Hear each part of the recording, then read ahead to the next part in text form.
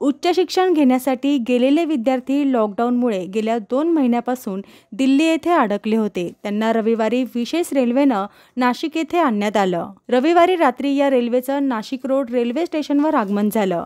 यावेळी विद्यार्थ्यांची तपासणी करून त्यांच्या हातावर क्वारंटाईनचे शिक्के मारण्यात आले.